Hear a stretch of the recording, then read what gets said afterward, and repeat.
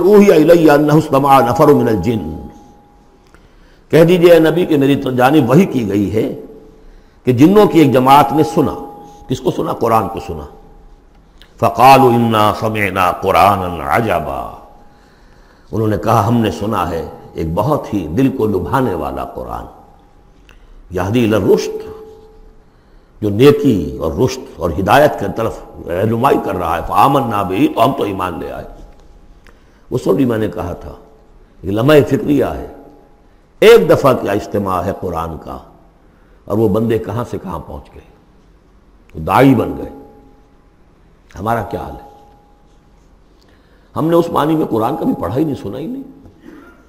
सुनते हैं तो खैबर मिल की स्पीड से जो पढ़ रहा होता, कारी, पाँच दिन में पूरा कुरान छः दिन में पूरा कुरान। और इश्तहार दिए जा रहे हैं। ये ये है हमारा रिचुअल यहाँ तो बीस मिनट में हो जाती है, यहाँ तीस मिनट, यहाँ चलो, वहाँ वहाँ और से भी कम में हो जाती है, वहाँ चलो।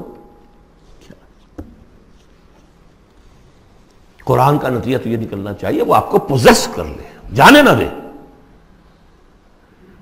इन्ना समय ना कुरान नाजब रुशन फामन्ना बही वन नुशर कब रब ना अहदा। अब हम कभी भी अपने रब के साथ किसी को शरीक नहीं ठहराएँगे।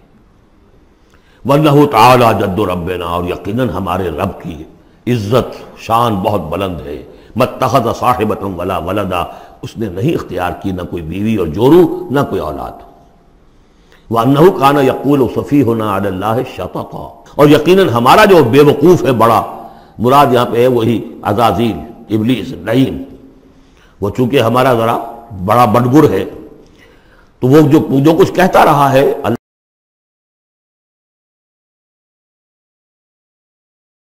वाना जनन्ना अल्लन तकूल इंस वल जिन कसिबा हम तो इस गुमान में रहे खुश गुमानी में, कि जिन और इंसान अल्लाह ताला के ऊपर झूठ नहीं बांधेंगे, लेकिन वो बदमाश तो झूठ बांधता रहा। हमने अपनी शराफत में उसकी बात को मान लिया।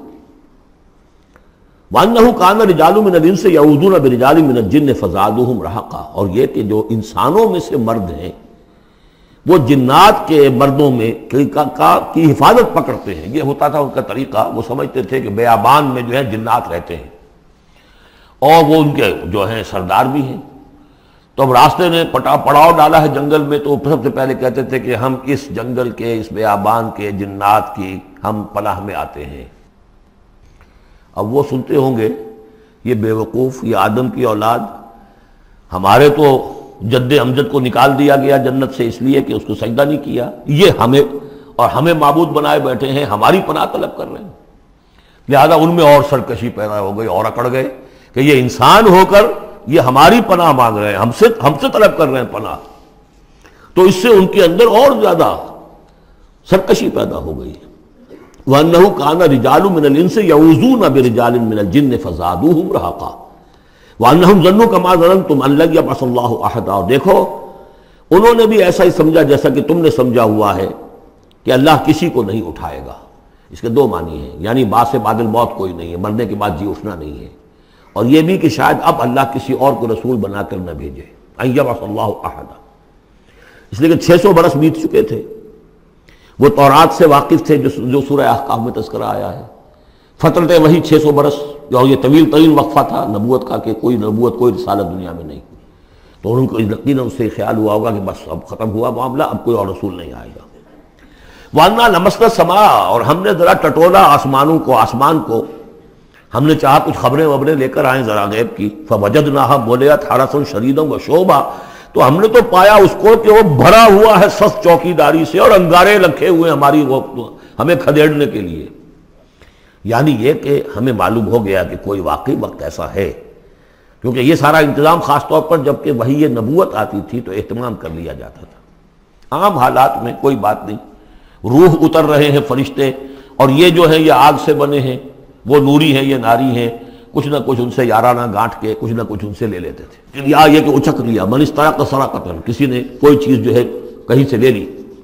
लेकिन अब जो हमने देखा है आसमान को तो वाकई वहाँ तो बड़े सख्त पैरे लगे हुए यानी कोई ना कोई वही का सिलसिला है और नबूत आ रही है, और वो नबूत हमें तो मिल गई। हम जाकर हम जाकर सुनाए कलाम और हम ईमान ले आए। वाना नमस्त सवा हम बोले, अठारह शरीदों व शोहबा वाना कुन्ना नकोद मिनहा मकायद इसम और हम वहाँ बैठा करते थे, वहाँ पे घाट में बैठा करते थे कुछ सुनगुन लेने के लिए मकाद मकद, बैठने की जगह, मोर्चा, जहाँ पे बैठा जाए। हम वहाँ पर अपने ठिकानों में बैठा करते थे फमयस्तम ऐलान लेकिन अब अगर किसी ने कुछ सुनने की कोशिश की, यजिद लहू शहाब रसदा, वो पाएगा अपने वास्ते एक अंगारा घात में, मिजाइल पीछा करेगा उसका। वान्ना ला नदरी अशर्रद बिमन फिलर्थ अब अराद बहिम रब रशदा। मालूम होता बहुत बड़े आलिम थे ये, तौरात के जानने वाले। उन्होंने एक ऐसी अजीम बात कही है ये। हमें यह मालूम नहीं कि आया ज़मीन में बसने वाले इन इंसानों की कोई शामत आ गई है, या अल्लाह ने उनके लिए किसी भलाई का इरादा किया है। रिसालत आएगी तो दो ही नतीजे हैं। या तो कोई अजाब आने वाला है अब। इसलिए कि वमा कुन्ना मुआजबीन हत्ता न बासा रसूला। या तो कोई बहुत बड़े पैमाने पर इंसानों की शामत आने वाली है। जैसे कौम नूह, कौम हूद, कौम साल का हशर हुआ था, वो वैसा ही हशर होने वाला है। अल्लाह नजरी हम नहीं जानते। अशरुदा बेमनफिल ज़मीन वालों के लिए किसी शर का फैसला किया गया है। हम अरादा बहिम रब हम रशदा, या उनके लिए उनके रब ने भलाई का खैर का इरादा किया है। ज़ाहिर बात है नबूत और इसारत मोहम्मदी खैर पर मुंतज हुई। वह अन्ना मिन्ना सालहूना व मिन्ना दूना तालिक और देखो हमारे अंदर नेक भी हैं, जिन्नात नेक भी रहे हैं, और दूसरी तरह के भी हैं। बद नहीं कहा यह है हमत तबलीग, बुरों को भी बुरा ना कहो। हाँ दूसरी किस्म के भी हैं। नेक भी है और दूसरी किस्म के भी हैं। कुन्ना तराय का कदादा हम थे मुख्तलिफ़ रास्तों पर जो कि एक दूसरे से फटे हुए थे। ये कदादा जो आया था ना कुद्दत कमीस हो फट जाना कमीज का। वन्ना जनन्ना अल्लाह नौजद अल्लाह वलन नौजद हरबा, और हमने ये जान लिया कि हम अल्लाह को आजिज नहीं कर सकते, हरा नहीं सकते, ना ज़मीन में भाग कर, और हम कहीं भाग कर ज़मीन में अल्लाह को शिकस्त नहीं दे सकते, उसकी पकड़ से निकल नहीं सकते। वन्ना लम्मा समेन अलहुदा आमन्ना भी और हमने तो जब वो हिदायत सुनी, अलहुदा सुना, उसकी इस्तेमाल हमने किया, हम तो उस पर ही मान ले आए। फमन यूमिन बेरब ही फला यखाफ बख्स वला रहा तो जो कोई भी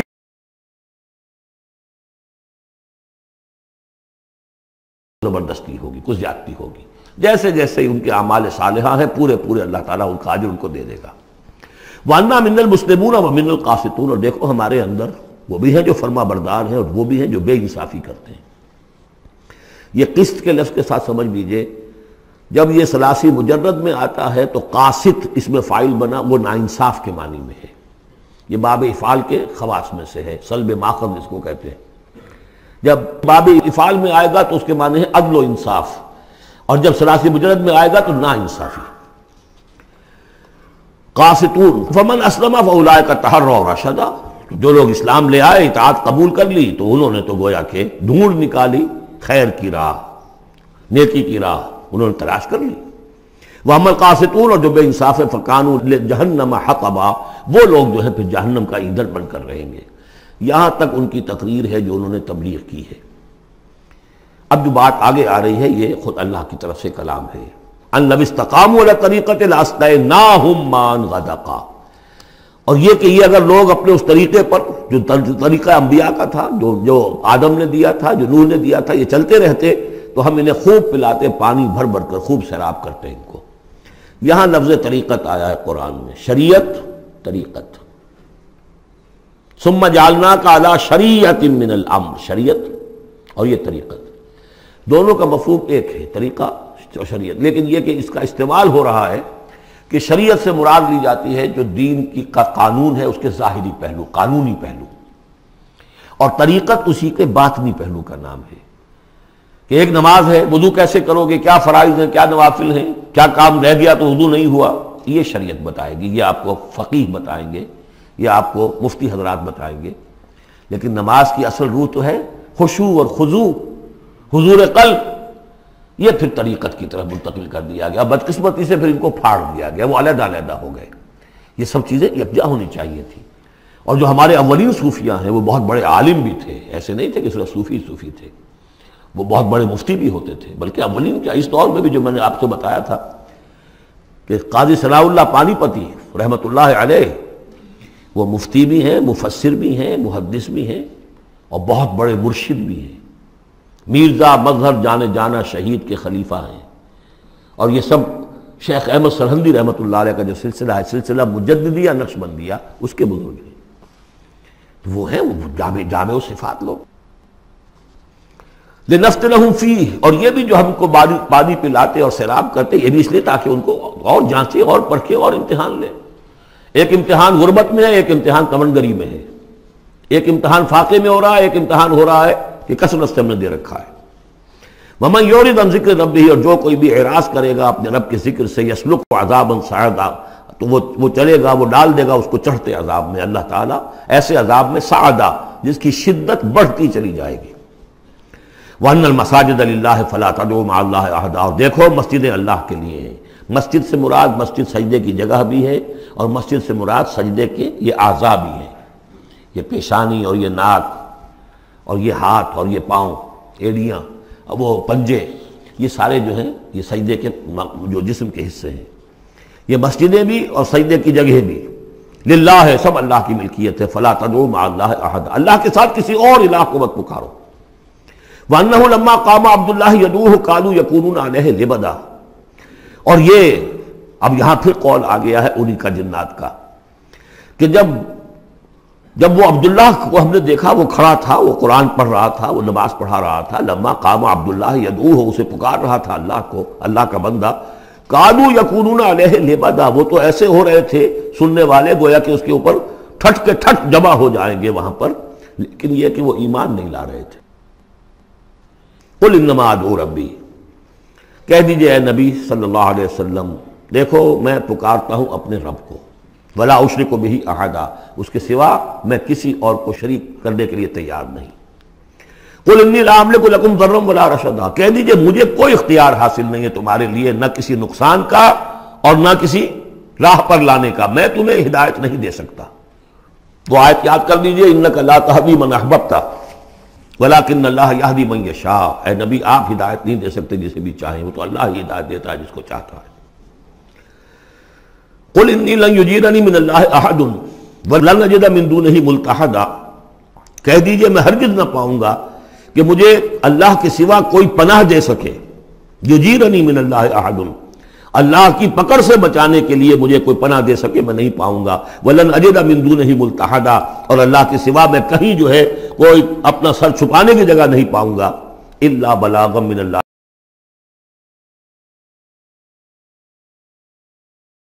अल्लाह फरीजत अंजाम दू अगर मैंने ये काम नहीं किया तो मैं पकड़ा जाऊँगा।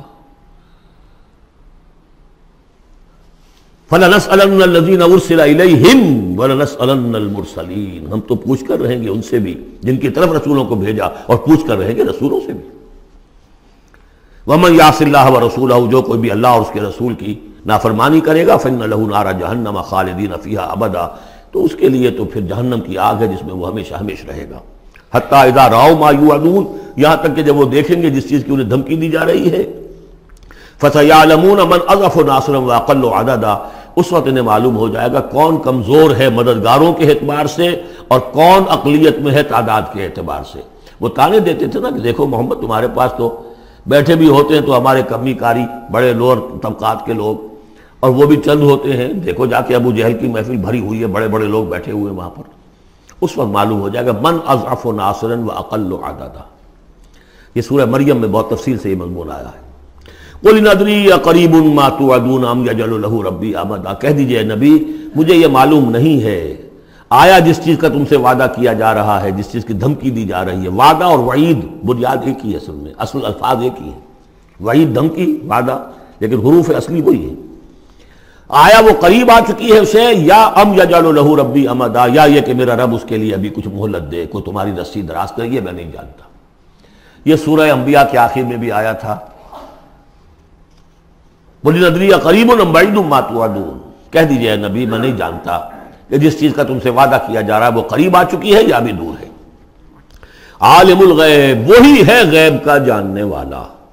फला युजहिर वाला गैब ही आहदन वो अपने गैब पर किसी को मुतला नहीं करता, इल्ला मन तजामिर रसूल सिवाय जिसको वो चाहे अपने रसूलों में से। ये बहुत अहम कानून है कुरान का, और इसमें सारा मसला इल्म गैब का हल होता है। एक बात तो यह कि हमारे जो भी बरेलवी भाई हैं, वो भी मानते हैं। चार बातें वो मानते हैं। तीन। मैंने एक मरतबा तहकीक की थी, बड़ी मुफसल जाकर, बाद से मुलाकात की, अभी मैं तालब इल्म था। कहा देखिए, हम साबित मानते हैं हम इस बात को। नबी का इल्म जाती नहीं अटाई है, अल्लाह ने जो दिया वही है। नबी का इल्म कदीम नहीं, हादिस है। पहले नहीं था, फिर हो गया। अल्लाह ने दे दिया तो हो गया। और नबी का इल्म गैर महदूद नहीं, महदूद है। मैंने कहा, ये तीन बातें जो शख्स मान ले, मेरा उससे अब कोई झगड़ा नहीं रहा। लेकिन हमारे यहाँ कुछ लोगों ने एक डेफिनेशन कर ली इल्म गैब की। इल्म गैब वो है जो बगैर किसी के बताए खुद हासिल हो जाए। उस एतबार से तो मेरे पास भी इल्म गैब है। नहीं यानी किसी के पास कोई कोई इल्म है ही नहीं। हमें दिया, सातदा ने दिया, हुजूर को दिया, अल्लाह ने दिया, जबरील को दिया, अल्लाह ने दिया। इस मानी में तो जाती इल्म तो कोई भी नहीं मानता किसी का। इल्म तो देने से होता है। अलबत्ता इल्म गैब किसे कहते हैं? वो चीज़ें जो हमारी निगाहों से छुपा दी गई हैं। वो आलम गैब है। जन्नत है, दोजख है, फरिश्ते हैं। ये सब क्या है? आलम गैब। तो नबियों को तो कुछ ना कुछ हिस्सा उसका दिखाया जाता है तो नबी बनते हैं ना वरना मेरे और नबी में फ़र्क क्या हुआ फिर? अगर मेरा भी इल्म वही होता इन्ना समा वल बसरा वल फुआदा तो मेरे इल्म और और, और हुजूर का भी इल्म यही होता तो फ़र्क क्या हुआ? हुजूर ने तो इस दूसरे इल्म के अतबार से तो साफ़ कह दिया तुम आलम बेमूर दुनिया को लेकिन हुजूर को मेराज में जन्नत दिखा दी दोजख दिखा दी। ज़मीन पर रहते हुए आप नमाज़ पढ़ा रहे थे गालिबन वो, जो कि नमाज़ पढ़ाई जाती है जबकि बारिश नहीं होती, इस्तस्का की नमाज़। उसी के दौरान अचानक एक दफ़ा आप आगे बढ़े। लोग हैरान हुए, क्या हुआ है? एक दफ़ा पीछे हटे।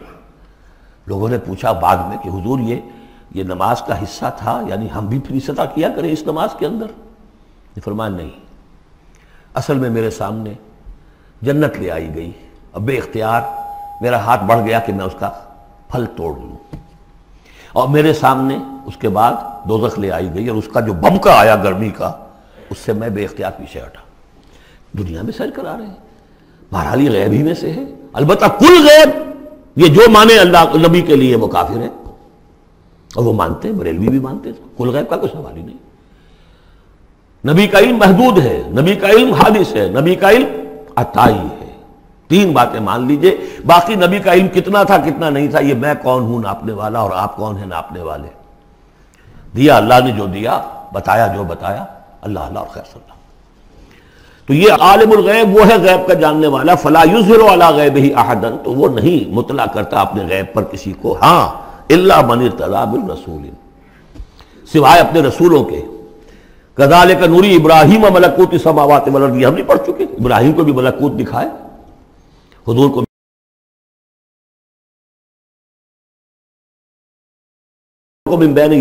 खलफी जिसको रसूल बनाता है, गैब की खबरें देता है, फिर उसके आगे और पीछे वो अपने बॉडी गार्ड रखता है, चौकीदार रखता है। जसलों को मिम्बैन यदह है उसके सामने भी वमिन खल्फ ही, पीछे से भी चौकीदार, हिफाजत करने वाले। ले कद अब लगू रिसालात रब ताकि ये बात बिल्कुल वाज हो जाए कि उन्होंने वाक़ता अपने रब के पैगाम पहुँचाने का हक अदा कर दिया। जैसा कि हजूर ने पूछ कर जवाब लिया था, इन्ना नशद कद बल्लता रिसालता व दैतमानता व कशफ़ुलगमता व नसातुलमता हम गवाह है हजूर।